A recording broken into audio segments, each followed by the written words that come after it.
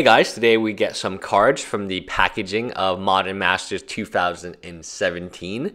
Let's go over what these cards are. They are Stoic Angel, they are Griselbrand, and they are Domri Rade. And these will all probably be mythics. So let's talk about them one by one. Domri Rade is not a particularly valuable card, and it's not seeing all that much play in Modern, to be quite honest. Uh, yes, it sees play in some type of all creature decks, a creature stompy deck, but those are not extremely popular.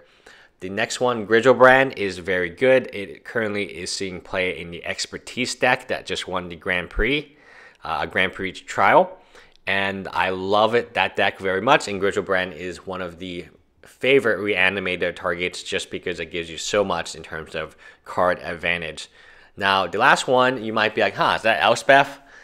Nope, it is Stoic Angel. So Stoic Angel is a good one. I don't know how much it is worth. I'm going to actually check it right now. I believe it's a mythic. It would probably make sense. No, it is a rare from Shards of Innistrad, and currently its price point is uh, around $2. Nice. So let's check out the price point of Domri. Uh, so Stoic Angel is around $2, uh, $3 mint. Domri is around $5. So these are not particularly super valuable cards, but of course, you know, when a pack is $10, you do want to see some value in it. The image we're taking a look at is probably Snapcaster Mage, and he will likely show up as a rare. Etched Champion was the box image of the older Modern Masters, or the Modern Masters 2015, and that was a rare as well.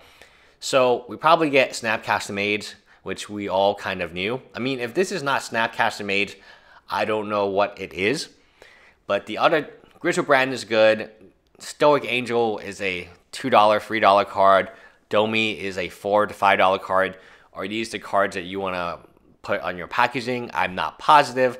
I would much rather have Liliana of the Veil packaging, right? But maybe they do have that and they just haven't spoiled it yet and they've given it to some amazing content creator who is now I guess you couldn't really fire sell them because everyone knows it's in the set. Anyway, leave me a comment below for what you guys want in the set. You know, I want Damnation. There's two items I want. Well, one item is five of them.